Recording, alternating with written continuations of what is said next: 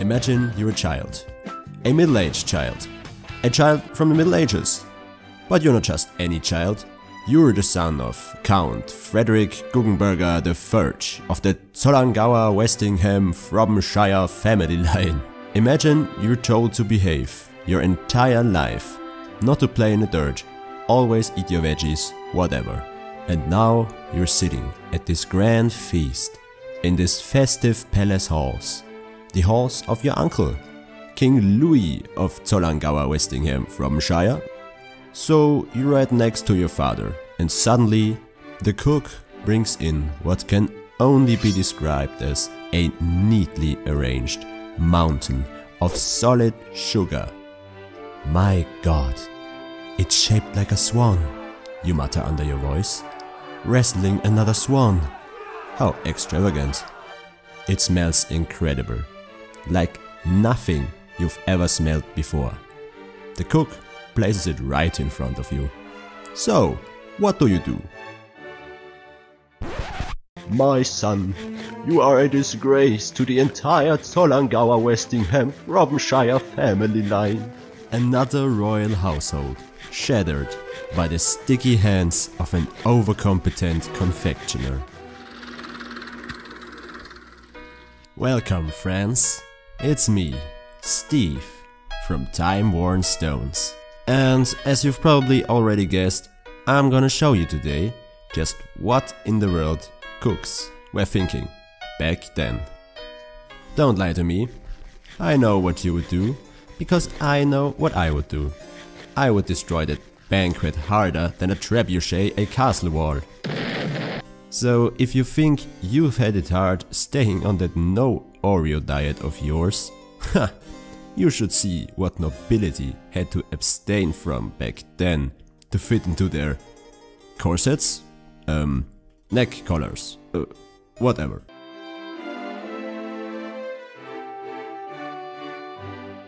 You know, sugar has always been kind of the bee's knees regarding luxurious goods. You must understand that if sugar was something even more than sweet tasting and life shortening, then it was expensive. From the Romans to medieval England, it was treated as an elusive medicine of sorts to cure scurvy, headaches, make cough syrup, and pretty much everything you can imagine. No, really, I mean it. Maybe they dumped it into everything because it just made it taste better. This notion only really changed at the beginning of the 16th century, when advances in refining and the discovery of fake India made sugar prices drop dramatically. It was still considered a fanciful upper crust brag spice though, but it no longer had the same level of bragginess it once had. Sounds like a problem if you're rich, but hey, we need to think logical here. Nowadays, what would a, say, well-heeled member of society do if he got bored of his Lamborghini collection? That's right, he'd just buy some more. And that's what they did too. And where would a European aristocrat shop other than at our favorite monopoly holding powerhouse? Venice. They had so much of it in fact, people there started putting it somewhere else than into their anti-malaria potions. Yes, they put it into their kitchens. Mmm, yummy.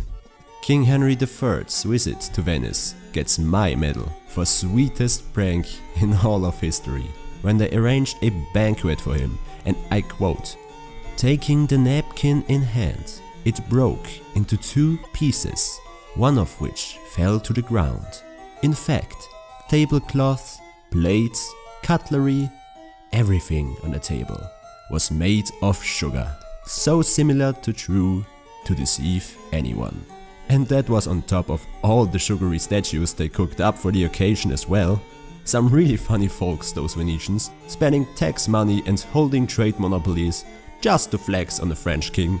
Now, you are a freshly baked renaissance rich man, with barrels of sugar, just chilling in your palace granary and you recently found out you can use this stuff for cooking? As you can probably guess, I want you to make a connection to gigantic freaking cakes. And I don't mean your boring old regular birthday cake or whatever, no. This is a royal banquet we're talking about. And that means you had two things to prove, status and wealth. So for you to impress your guests, that also meant two things. Sugar, and tons of it.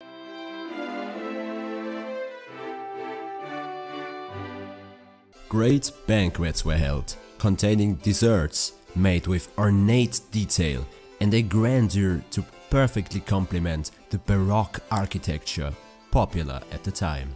British monarchs were especially fond of sugary delights for some reason. Queen Elizabeth I was said to have blackened teeth, a side effect, apparently, of extensive sugar consumption. Or maybe a prank by a royal court gone wrong? Who knows? In the late 1600s, writings by Robert May, a royal cook from Britain, describes a sugar stag that bleeds claret wine when an arrow is removed from its flank, a sugar castle that fires its artillery at a man of war, and gilded sugar pies filled with live birds. Ha, that gives tasteful a whole new meaning. Oh, and take a look at this image by the way. It's an illustration from the 15th century of a royal banquet hosted by Richard II, then King of England. It's painted at the most exciting moment when the servant walks into the room and carries a ship to the table, made entirely of sugar. A subtlety, as they were also called by the way. You know, servant placed it, they watched it, they devoured it like a pack of rabid dogs, and on to the next course. So, if you were genealogically gifted, so to speak. You could get everything you oh so desired. From small castles to heroic figures, it didn't matter. Want to show off how literate you were? Table filled with every god from the Olymp. Need a display piece for your funeral feast? How about a giant replica of the deceased person's head? Ha, that gives Tasteful a whole new... Uh, oh wait, I already made that joke. But for that, people had to be hired who knew how to handle the malleable, sticky sugar paste and actually turn it into a sculpture.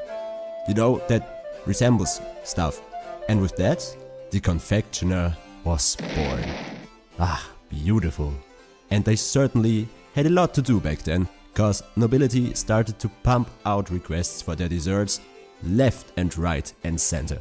Whole edible worlds were sometimes created for a single feast, complete with miniature temples, sugar-coated roasts and glazed fruits hanging from trees.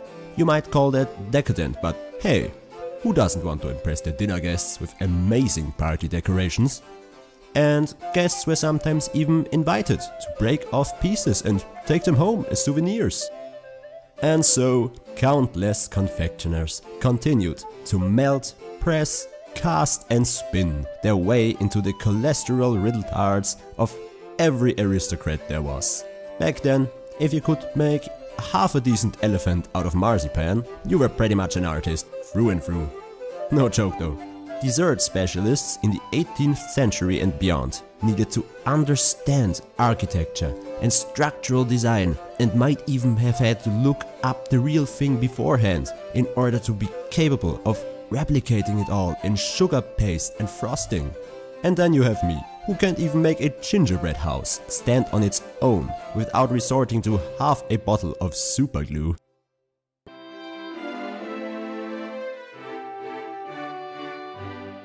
Monarchs made sure to only hire the best chefs who could make them the tallest, grandest and most eye-catching table fillers possible there's an account written by John Wright, in which the Earl of Castlemaine hosted a grand feast for his favorite Italian Pope, Pope Innocent the 11th.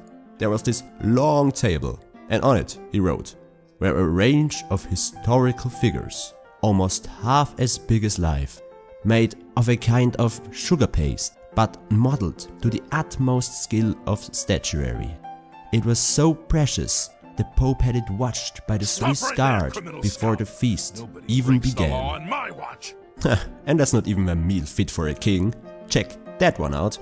When Charles VI was crowned Holy Roman Emperor back in 1711, there was a great celebration with even greater delicacies and all attendees must have known that a master confectioner went to burnout therapy the day after cause a local wrote the following words about the coronation feast. On Her Majesty's table was a show dinner several stories high consisting of columns with a garnish of pyramids and gilded spheres. Below were green festoons on which crowned imperial eagles could be seen holding the golden fleece. In the middle was Jason, who made the dragon asleep and killed it. Believe me, guests will get a heart attack when they'll have this bad boy slapped on their dinner plates. No, really, I mean like literally.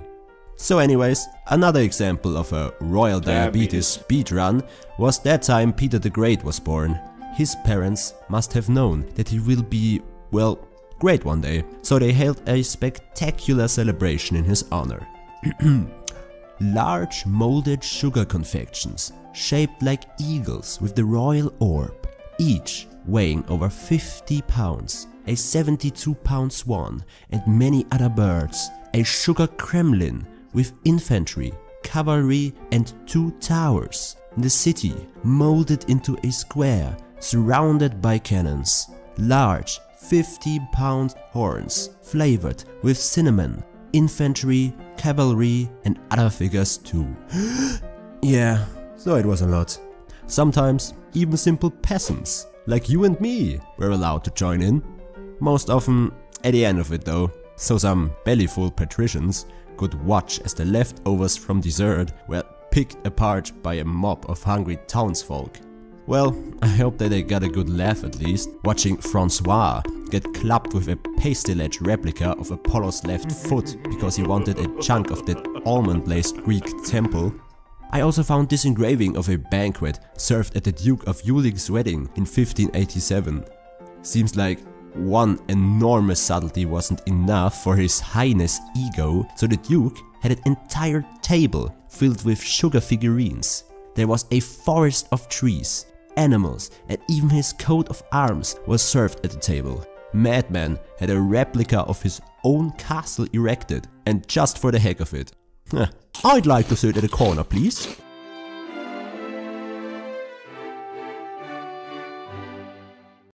As the 1700s came to an end, one of the most famous average opulence enjoyers rose to fame. Marie Antoine Carême. Born in the later 17th century, Karim had studied architecture and loved nothing more than good old French cuisine. He knew sugar in and out, spent hours crafting blueprints for his famous Pièce montée to satisfy his countless royal beneficiaries. Just look, beautiful, stunning, oh delicious. Well, maybe delicious, I don't really like sugary foods. One of his greatest works must have been the cake he made for Napoleon and his wife when their son got baptized. A huge Venetian gondola, colored entirely in blue. Try to visualize that the next time you call your half-eaten Snickers bar from the back of your car a dessert. Banquets were pretty big and expensive for a couple of centuries until further decrease in sugar prices and a couple of revolts made it kinda whack to spend a quarter of your empire's GDP on lavish meals alone, except for a few dishes like the French croquembouche, which is still made today for special occasions or if you won the lottery and don't know what food to buy anymore. And if you know any other huge desserts still made today, leave it in the comments, alright? I think there's no better quote to sum it all up than one from the man Grand Chef Carême himself. Architecture is the most noble of arts, and pastry the highest form of architecture. Couldn't have said it better myself. I bet you got hungry now. That's all from me today. Servus und Baba.